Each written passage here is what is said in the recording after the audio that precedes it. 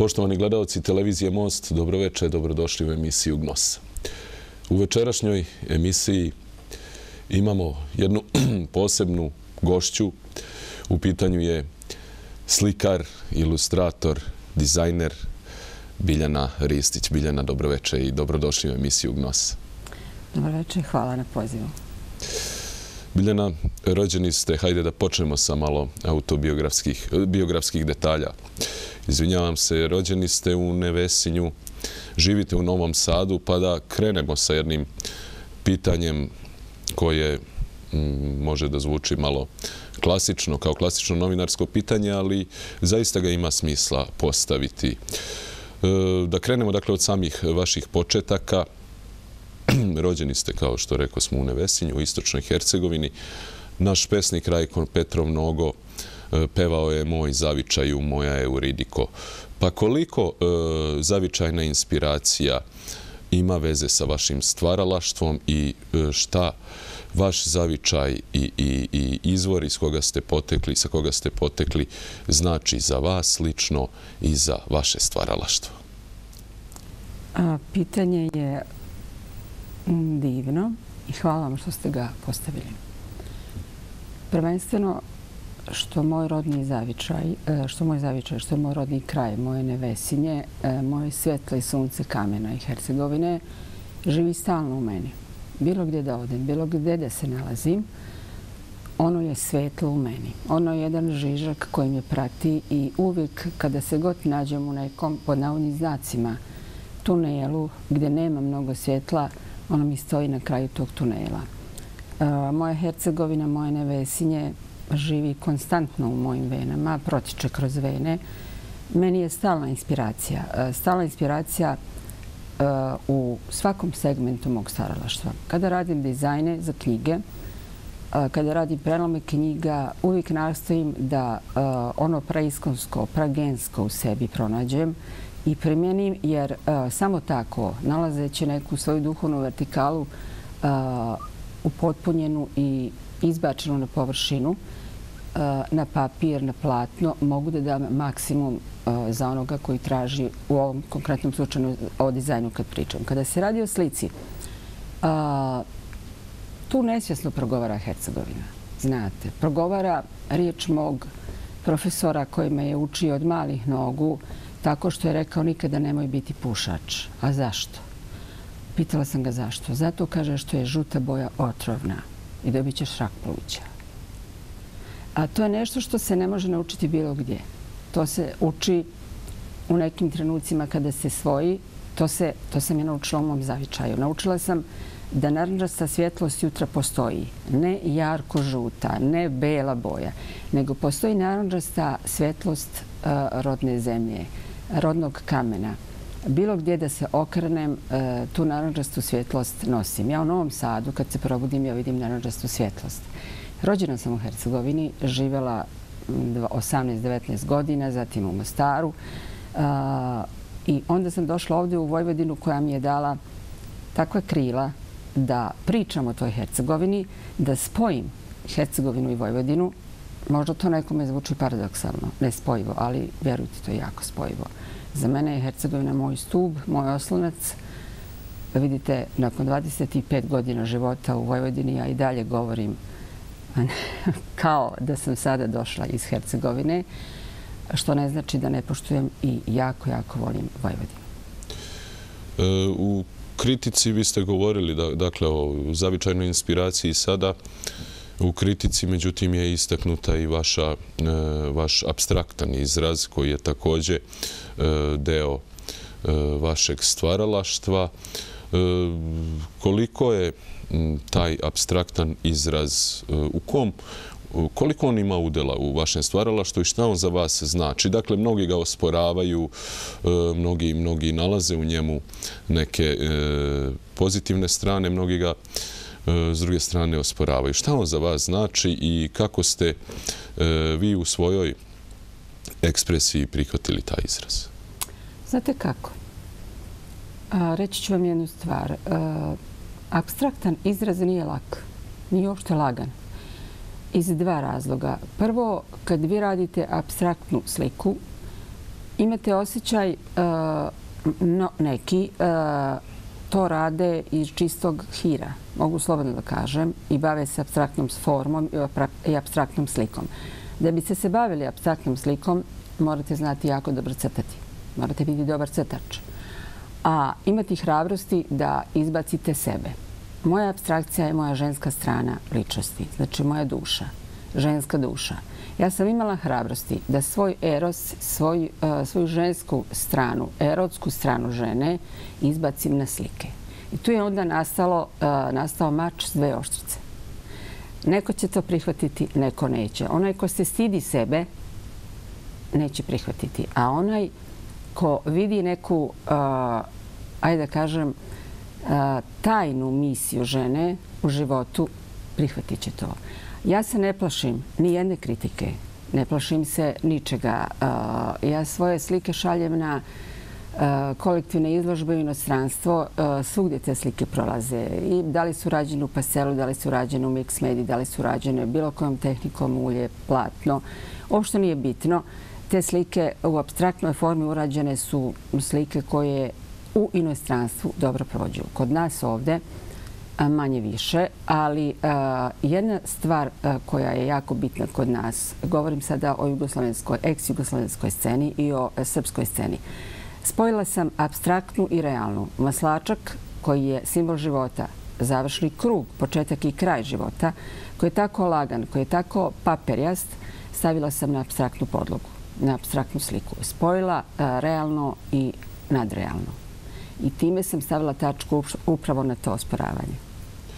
E, da, e, u kritici su naravno već istaknute dominantne tehnike i E, dominantni izrazi vašeg stvarala, što dakle radi se o e, mrtvoj prirodi i pejzažima uglavnom, a od tehnika se ističu već suočene značajna vaša dostignuća na planu e, tehnika ulja na platnu, pastela, akvarela i tako dalje. Kako ste se odlučili baš za ove tehnike i šta, šta se, koje su razlike e, u umetničkom smislu između njih? Kako se odlučujete? Da li su to bili periodi u kojima ste radili određenu tehniku ili je to prosto stvar, e, kako se kolokvijalno kaže, stvar trenutka, stvar inspiracije? Profesor Radovičić koji je sa mnom radio od e, kad znam za sebe, iskreno rečeno, od kad sam naučila da držim kist u ruci umjesto olovke, proveo me kroz sve tehnike. Naučio me da crtam, naučio me da uh, crtam i da slikam i akvarel, i pastel, i gvaš, i enka ustiku, i ulje na platnu, ulje na medijapanu, jajčanu temperu, sve tehnike me proveo. Uh, znači, kompletnu tehniku sam, uh, slikarsku sam uh, obradila uz pomoć također knjige koju ja nazivam Biblija i koju ja svugde nosim, a to je knjiga Metode slikanja materijali gospođe Metke i Krajger Hozo, profesora sa Sarajevske akademije umjetnosti. I tu sam naučila jednu stvar, da mi tehnika služi samo da napravim ono što želim.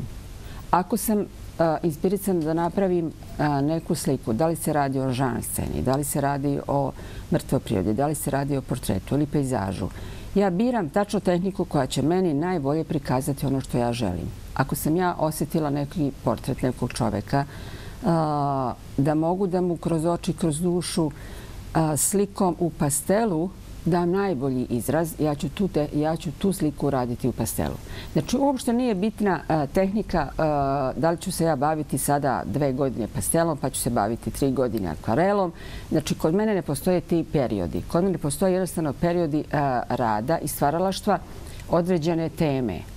A, da li će se raditi na kamenu, da li će se raditi u akvarelu, da li ću ja tu tehniku, tu temu obrađivati kroz e, dizajn, da li će obrađivati kroz gvaš, da li će obrađivati kroz samo crtež.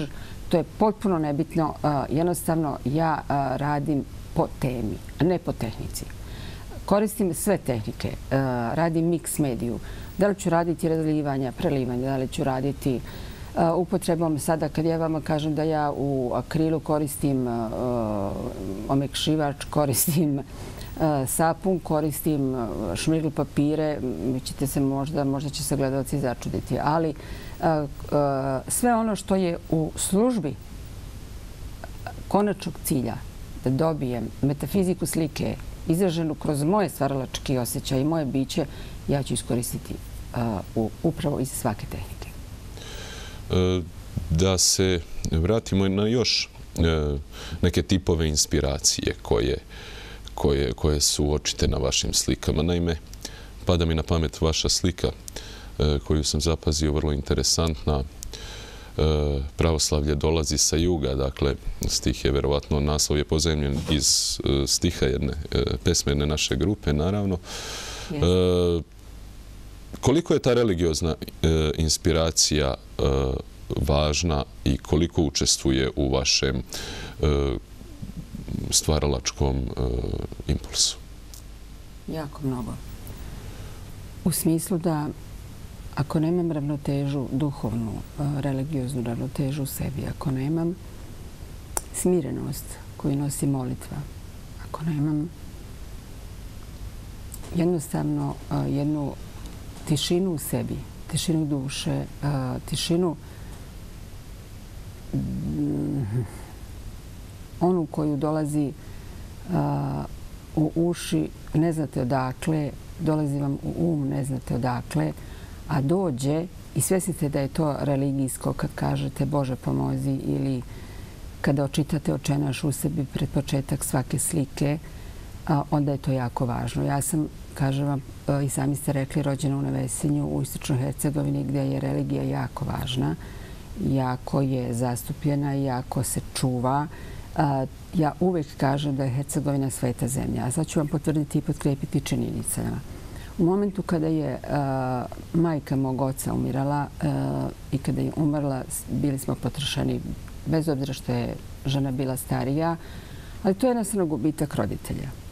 Moj suprug je izgubio roditelja, moj djever, moja zaova. I ja sam bila prisutna svo to vrijeme dok je ona umirala.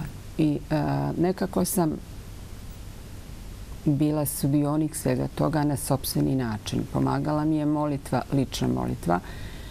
I onda sam se u jednom momentu da bi se povratila e, družila sa jednim slučajno sveštenikom kroz razgovor koji mi je tim tako divnim, melodičnim, mekanim tonom počeo objašnjavati da je e, Hercegovina zemlja živih moštiju. Ja sam ga pitala kako. Kaže on, znaš kako? Kad mi odkopavamo stare grobove, nađemo jako puno ruku, nogu, dijelova tijela, žena i muškaraca koji su radili Bogu ugodne stvari i Bog im je posvetio, znači jednostavno im je e, napravio dio tijela e, potpuno očuvan, napravio i ova zemlja je toliko sveta. Vi, kaže, niste ni svjesni koliko je Hercegovina sveta zemlja. Od tada, verujte mi, još više verujem u Boga, još više sam e, posvećena e, veri, e, posvećena svema onome što, što govore i što su pisali i otac Tadej i vladika Nikolaj, što je govorio Šantić. To su sve ljudi koji su na svoj način shvatali duhovnost, shvatali religiju, a ja iz religije jako puno učim i kad bi se svi ponašali na ovom svijetu samo po deset Božih zapovesti, po principima deset Božih zapovesti, ne bi nam trebala ni sudovi, ni policija, ništa nam ne bi trebalo. Bilo bi nam raj, bio bi nam raj na zemlji. E, kada već pominjete, naravno, zavičaj, a i ovu religioznu inspiraciju, koristite jednu metaforu, jednu zaista upečatljivu i mitsku sliku e, a su naravno, kad opisujete utisak jednog kraja u vašem zavičaju, u pitanju su morine, kako drže nebo. Pa nam, molim vas, eksplicirajte malo tu vašu fantaziju. Morine su za mene stub na kome počiva nebo u Hercegovini, stubovi. Kao što u Grčkoj je Olimp taj koji drži nebo iznad Grčke, kada sam prvi put otišla na Morine, i kada sam vidjela tu visoravan koja je talasasta, bilo je sedam sati ujutro. Bio je juli mesec, smilje i kovilje je talasalo blago padinama morina. Popela sam se na vrh visok 1650 metara. Išla sam da izvedim kamen za svoje slike na kamenu. tada sam osjetila da sam na vrhu svijeta, da sam na Monteverestu, na mom Monteverestu. Iza, kada sam pogledala i kada sam se okrenula, vidjela sam na Vesinje, vidjela sam Hercegovinu na dlanu. Imate osjećaj da stojite i da vas ljubi nebo, da vas grli nebo. Imate osjećaj da ste upravo s razlogom u tom trenutku baš tu i da imate zadatak da uradite nešto. Taj zadatak sam ja obavila, uzela sam sve što je meni trebalo, ali sam upoznala Morina i zaljubila se u njih na čudesan način. Opet sa religiozne strane gledano na jedan Boži način. Zašto sam baš u tog jula otišla i zašto sam baš krivinama koje su rađene još za vreme Marije Terezije na tom putu pravljene, išla, gdje sam gledala da li ćemo se srušiti i otići u ambis, ali ne.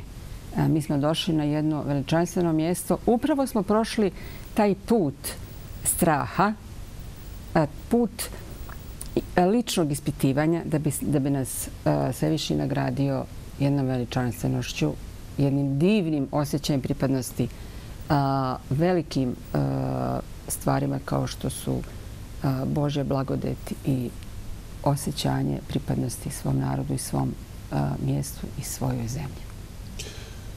Pomenu ste sada e, slike na kamenu, pa bih da kažemo nešto o toj posebnoj tehnici koju koristite. Naravno, kamen kao semantika i simbolika kamena je tema od davnina, naravno, tu je, to je i biblijska tema, i biblijska simbolika i semantika. Mnogi su naši mislioci pisali i pesnici i eseisti o, o kamenu, e, pada mi na pamet Miodrag Pavlović, e, e, Evo, pomenuti Rajko Petrov mnogo na početku je raspevavao kamene zapise u nekim od svojih posljednjih zbirki.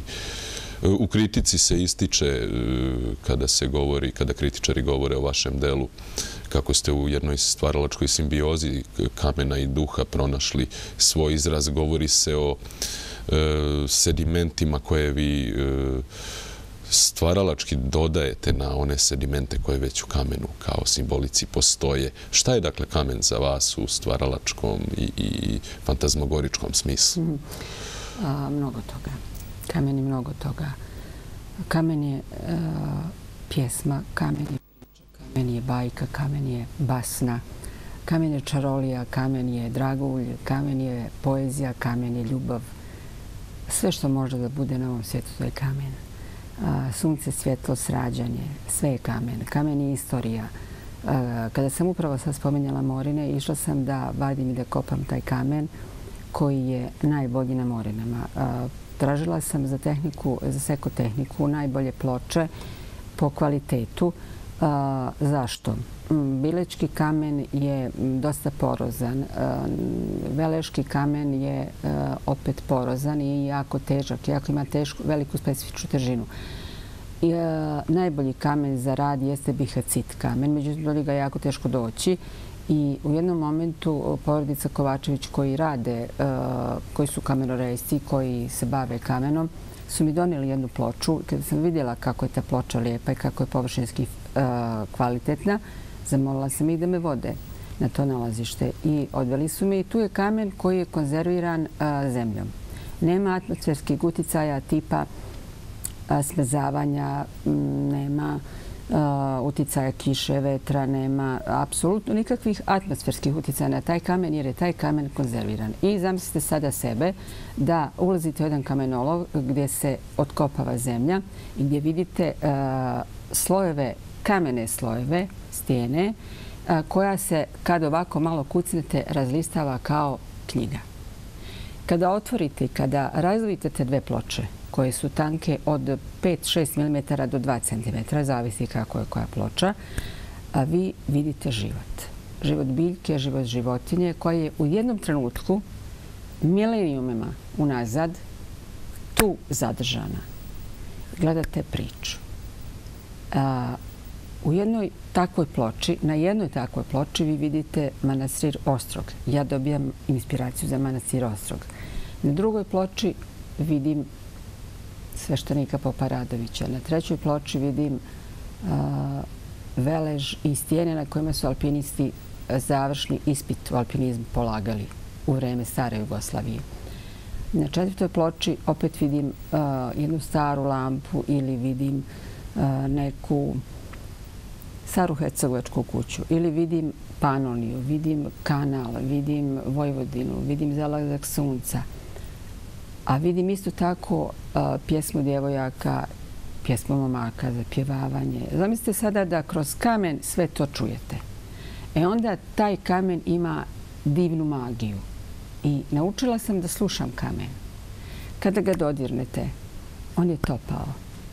On ima jednu divnu toplinu koju ako ste hrabri, ako želite da se e, opet, kažem, kroz neku molitvu posvetite njemu i da ga onda donesete u svoje atelje, operete, skinete sa njega sve ono što je pod navodnim znacima prljavo, jer zemlja nije prljava, ali morate skinuti te, e, te slojeve koji ga štite od onog pravog njegovog lica, dobijate jedan oblik na kome možete uraditi ono što želite.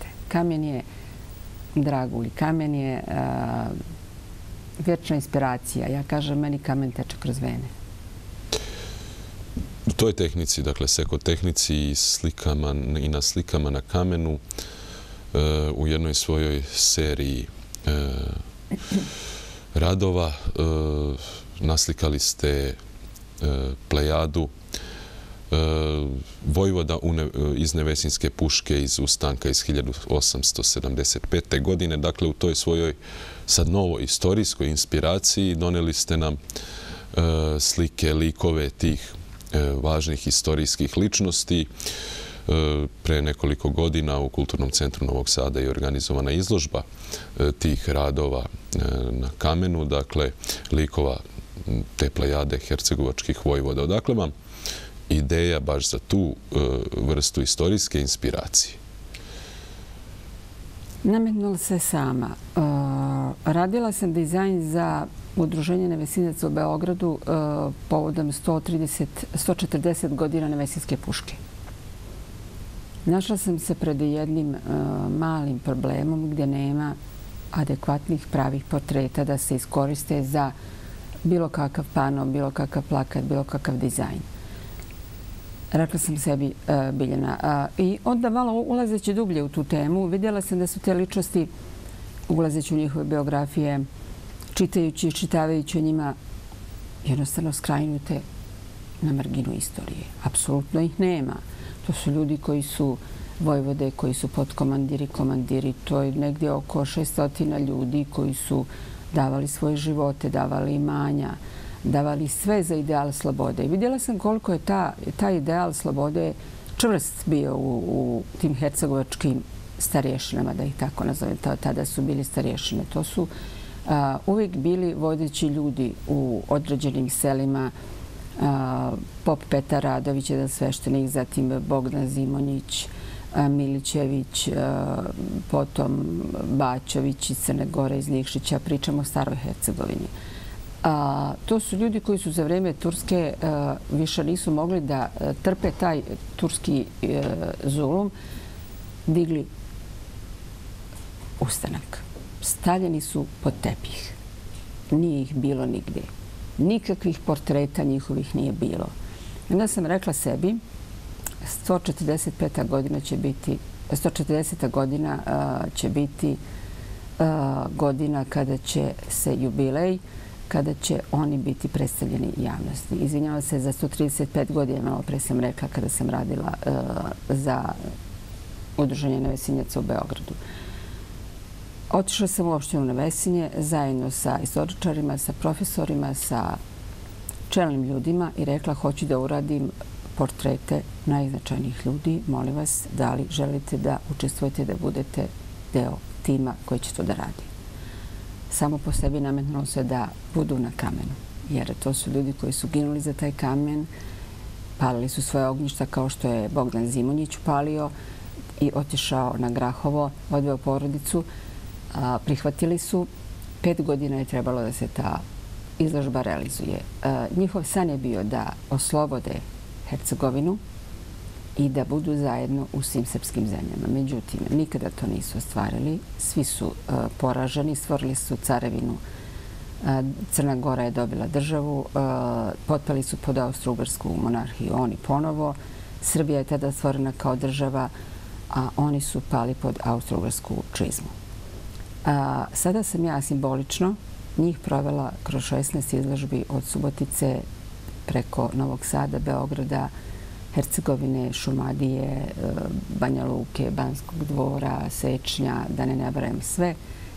Provela sam ih simbolično sve zajedno e, kroz izložbe i prikazala ih na kamenu da bi se na kraju završilo e, sve u Nevesinju gdje će biti postavljeni kao stalna postavka budućeg muzeja Nevesinska puška. To je moj mali doprinos, moj, moja zahvalnost mojim precima što živim, što sam rođena u Hercegovini, e, što su sačuvali Hercegovinu i što sam ponosna time što sam odatle. Interesantna je i epizoda, ako ste vojni, da nam je naravno ispričate o utisku e, praunuka jednog od ustanika koga ste sreli i koji vas je zaista e, ostavi u čudu, odnosno čitava ta epizoda od, od, s toga susreta. Jeste. A, m, ispričat ću vam to. To je, pišem knjigu a, Zbirka malih čuda.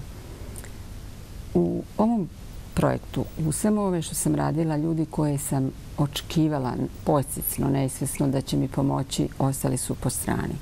A onda su se počeli javljati ljudi koji su da mi pomognu potpuno malo, skoro nepoznati. Znači, ljude koje tek, tek poznajem, a, jednostavno su mi izlazili u susret. Bili su predusretljivi.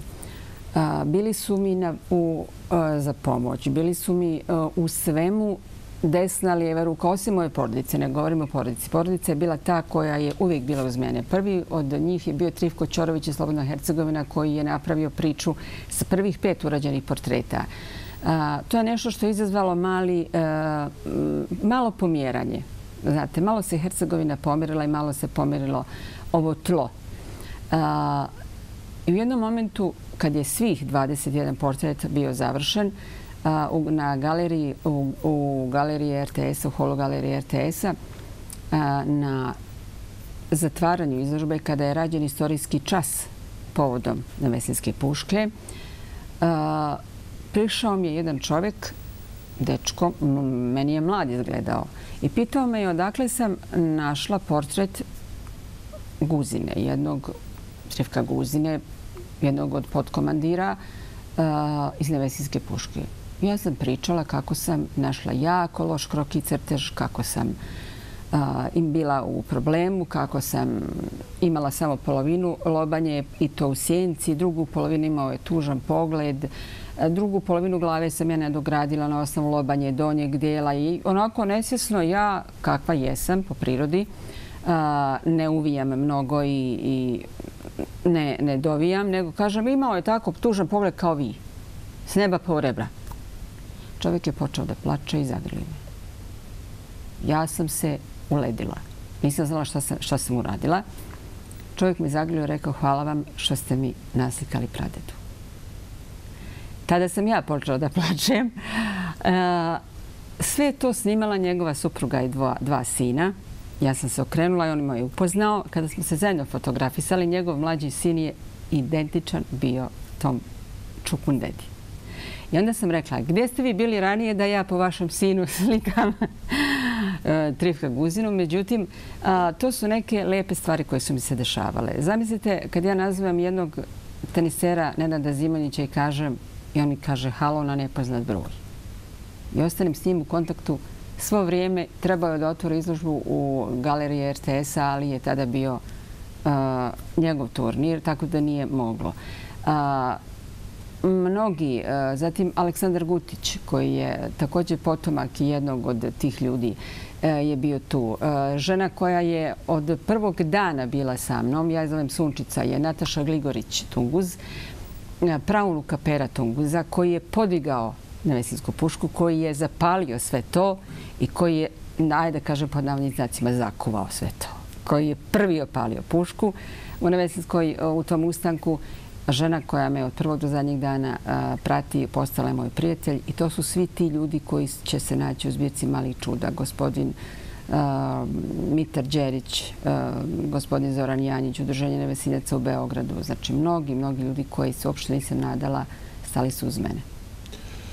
E, kada govorimo dakle, o ovoj tehnici, ima, e, postoji neka aktuelna dešavanja. Dakle, povodom 100 godišnjice prisajedinjenja Vojvodine Kraljevini e, Srbiji organizovat će se škola slikanja na kamenu u Novom Sadu. Je li tako? Recite nam nešto o tome. Ona već traje. Pa ona je počela u e, septembru mjesecu e, prošle godine. U organizaciji Kulturnog centra Novog Sada u dvorcu Ejčeg u Antona Čehova broj 4 radimo radionicu stripa i radionicu škole crtanja na kamenu i slikanja na kamenu. Cilj je da se e, porodica, djeca, zajedno sa roditeljima, besplatno je radionica, da se nađu u tim radionicama.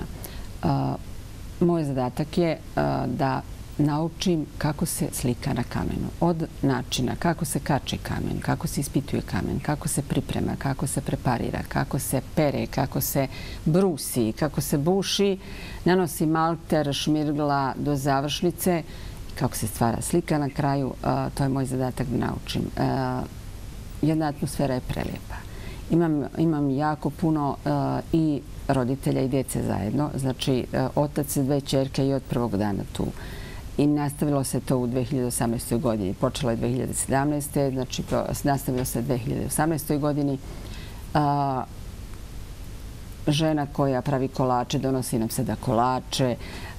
Jednostavno se stvorila interakcija između u radu, jer vide ljudi koliko se trudim da im prikažem i pokažem i da nastojim svima da budem na usluzi za sve što ih interesuje za svaku komponentu, jer ja bih voljela da se neko bavi ovom tehnikom, gospodin Anđelković radi na nekim na velikim formatima kamenja i stena. Ja radim na prenosivim stenama, na prenosivim pločama. Ova tehnika je dosta teška, dosta je zahtjevna i možda je za ženu malo neobična, ali isto tako je lijepa i senzibilna. Ja bih voljela da se neko počne baviti uz mene ovom tehnikom. Što više ljudi bude naučila, neka će nekome jednostavno doći, hajde da se bavim, da nastavim ovim. Vjerujte mi da je žena koja nikada nije uzela kistu ruke, napravila najbolje slike u prvom dijelu radionice.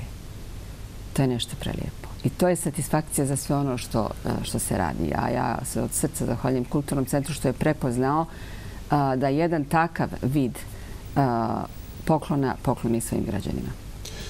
Recite nam nešto i o angažmanu na planu dizajna. Vi ste i dizajner.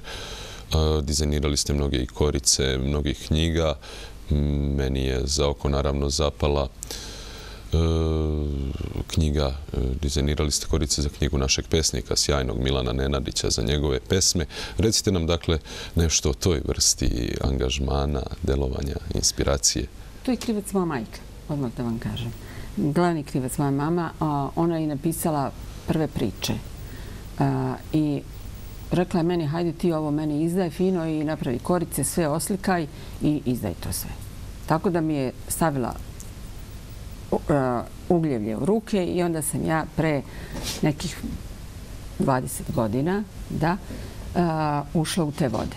Uh, gde sam radila dizajn, napravila ilustracije, ušla u priču, ušla jednostavno u štampariju i u priče o štamparijama. Kasnije sam radila, to se dopalo onima koji su gledali, koji su čitali njenu knjigu, dopalo se mnogima, dopalo se knjižnoj zadruzi Banja Luka, e, tada je postala još knjižna zadruga Banja Luka i gospodinu Sretinu Vujkoviću kao direktoru. E, tako je e, moj dizajn došao na korice knjige Milana Nenadića. Zatim radila sam svom e, profesoru književnosti, momčilu Goljaninu, mislim dve ili tri, čak i više ilustracija. Radila sam mm, za e, naše ljude u inostranstvu.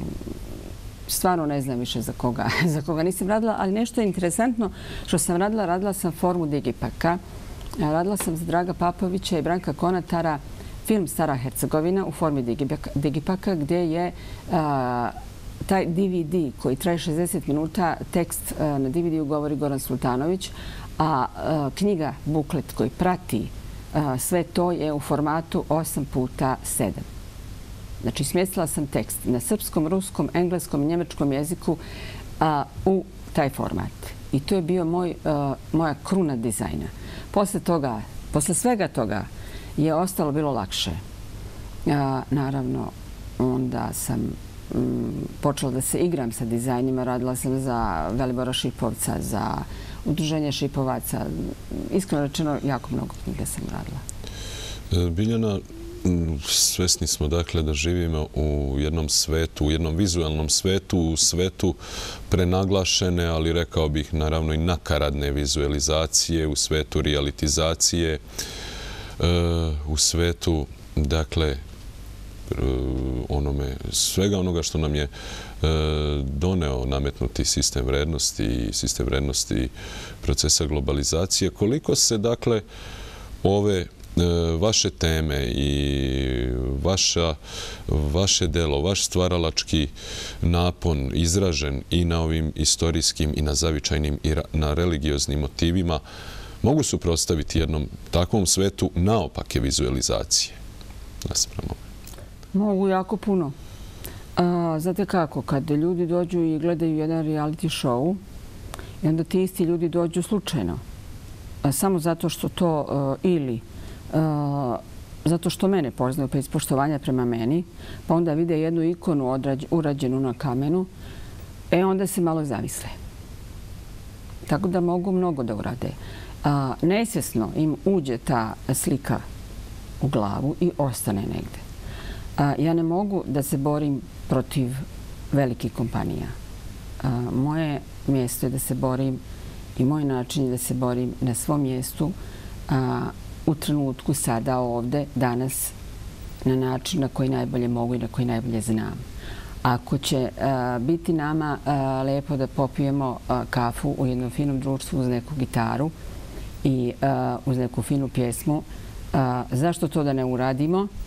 A ne da e, gledamo nešto što nam apsolutno ne prija i što je e, učinila globalizacija i što nam nameće globalizacija. Znači, ja imam pravo da e, odaberem. Svojim ponašanjem mogu uticati i svojom slikom i svojim radom i svojim dijelom mogu uticati na to da se promijeni način ponašanja kod onoga u porodici gdje ta slika stoji na zidu. Ja imam svake godine za slavu jedan gospodin meni šalje sliku gdje moja slika stoji na počasnom mjestu ispod ikone. To je njegov mali oltar. Meni više ništa drugo ne treba. Mene ne trebaju nagrade. Mene ne treba ništa od toga. Mene ne trebaju titule. To je meni nagrada. Nagrada je kad čovjek koji gleda ikonu kaže a, ova ikona sija, ona svijetli dušom. Ili kada kaže a, znaš, osjećam toplinu s, ovo, s ove slike. Bilo kojoj tehnici da se radi, bilo kojoj temi da se radi. Kad čovjek nađe sebe, ja sam time dobila bitku sa globalizacijom i reality show. E, to je upravo uvodi u naredno pitanje koje sam želeo da vam postavim, a to je kako na ličnom planu uspevate da taj umetnički svet, umetnički milje, e, vašu umetnički senzibilitet e, provedete kroz svet realnih životnih datosti i svet stvarnog života i kako se sukobljavaju ili mire ta dva sveta? Pa tako što uglavnom, uglavnom, uh, biram društvo i biram prijatelje uh, s kojima mogu da razgovaram o finim temama. Ne želim da apsolutno nijedan trenutak svog života, nijedan sekund provedem s ljudima ili provedem sa osobama koje će mi uzeti bilo šta što je što se kosi sa mojim principom ljepote. A ako ću uživati u uh, mirisu cveća, odabrat ću s kim ću uživati. Da li će to biti moja čerka, moj sin, Moj suprug. To ću ja odrediti. Da li će to biti moja prijateljica s kojom ću šetati i obići e, ceo grad tog dana? Ali to je naša umjetnost. I ja tako to mirim. A, neću da gledam televiziju, čitaću knjigu. Mm, od televizije ću gledati ono što meni odgovara. A, znači, ja sam tvorac onoga a, kako želim moj život da izgleda. A da li će to nekome da se dopadne i da li ću potpadati pod klišeje, to već nije moj problem, to već nije moja stvar. Jer ja sam stvorac svog života. Svoju djecu učim da budu tvorci svog života, da odabiraju i biraju pravce i životne puteve kakve će se oni, u kojima će se oni najbolje snalaziti. I tako su i odabrali. U jednom trenutku, ako ćemo se smejati, smejaćemo se. To je umjetnost. Znate kako je velika umjetnost nasmeti nekoga? Ja sada kad radim, radimo jedan projekat, moja prijateljica i ja, a, to je toliko smešan projekat da smo ga mi nazvali, ozbiljeni projekat, da smo ga mi nazvali aj aj. Zašto? Zato što radimo sa jednim pištoljem silikonom.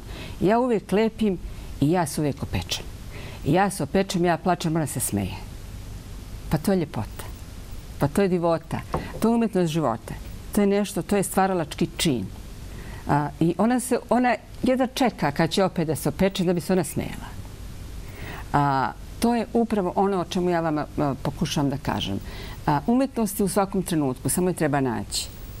Treba, je, e, treba se radovati. A, želim da pričamo viceve. Želim da a, svako ima problema, da se mi razumemo. Svako ima svoje probleme, svoje tegobe. Ali ćemo ih malo gledati iz drugog ugla pa će nam biti lakše pa će nam biti ljepše, pa ćemo ih malo okrenuti, malo načošiti, malo izobliti, oni će se rešiti.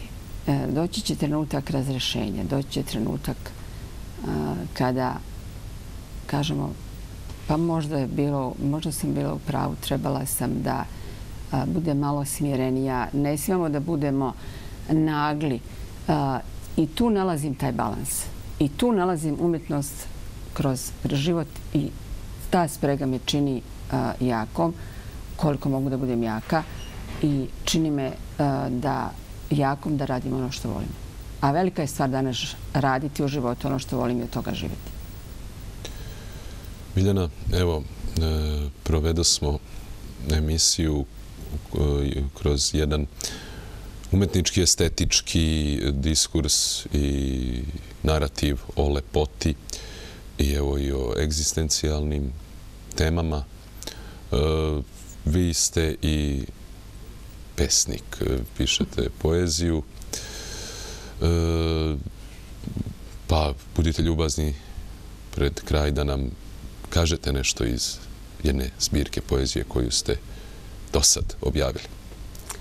Da, pa moja prva zbirka je Ogledalo od kapi. E, Druga zbirka treba upravo da ugleda svetlo dana. Zove se Senke i snovi moja inspiracija je ljubav i jedino ljubav prema svima oko mene. Rado ću vam pročitati par knjiga, par stihova. počela sam da pišem slučajno, zapisujući ideju i misao dok slikam. A onda se to proširilo u jednu malo veću formu i kad sam jednom pesniku rekla slučajno stihove, a on me pita a čisto stihovi, ja kažem pa moji. A gdje si, kaže, ti do sad bila? Pa reko kući.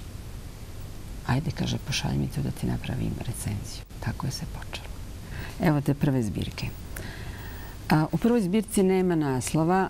A, sve su a, pesme moje zvijezdice. Kratka forma, ali pročitat ću vam par njih. Ova je nastala jula 2012. godine. Hoćeš li me odahnuti? hoćeš li ti mene? Vasiona stade, a zvezde se gase. Zapevaše harfe, munja, nemo sevnu.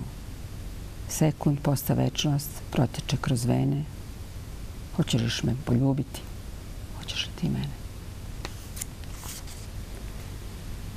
Ne smijem reći reči sreće da ih magla ne odnese. Ako kažem, spuštam pogled i molitvom tražim Boga. Kako je teško kada pogled boli, kada reči seku, a čutanje planti. Zvezde tada prave ogrtač od noći, da zaštite reči, čutanje i oči. A, Eh, sad ću vam jedno pročitati.